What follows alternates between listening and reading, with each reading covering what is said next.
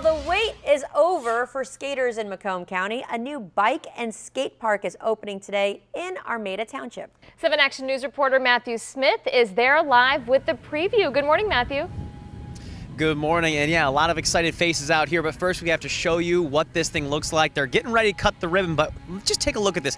This is poured concrete. You're talking about a $300,000 project, and it is 10 plus years in the make. We've actually got some video to show you from overhead what this thing looked like just a few weeks ago. And it is impressive when you see how far they've come in just a few months. But the real story is the guys who are behind it. They started working on this when they were just teenagers, and they put so much hard work into this project. We actually are out here with a few people who are here to see the grand opening, including Steve, who brought his two sons here. Steve, I mean, you've seen these guys, uh, you've seen the work that they put into this. I mean, just seeing this for your kids, what do you think about? I think it's a great thing. I remember back in my day when they had skateboard parks, uh, they had openings just like this, and it was a great place for kids to hang out and, and do things, you know, rather than getting in trouble. I noticed you got the two kids, and, and I noticed we've got scooter here, we've got skateboard here. It is rare to see them be able to ride both things on one park. Is it is it fun to be able to have something so close to home? Oh yes, it's a great. Um, you know, rather than have to travel so far. I mean, it's still a bit of a drive, but not too bad at 45 minutes but still it's like our backyard and it's great to be so close and have somewhere for them to ride their things and enjoy it.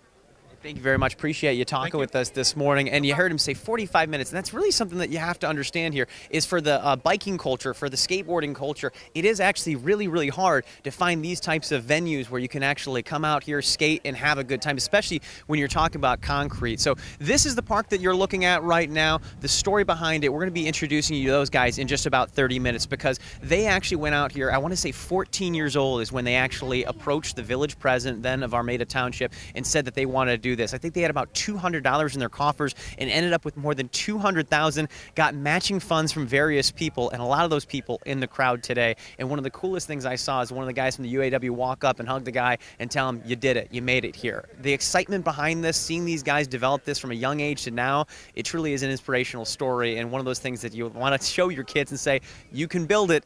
If you put the hard work into it. And a lot of the kids are now going to be showing their appreciation by riding and shredding up this course in just a little bit. We'll try to show you that as well. We're live in Armada Township this morning. Matthew Smith, 7 Action News.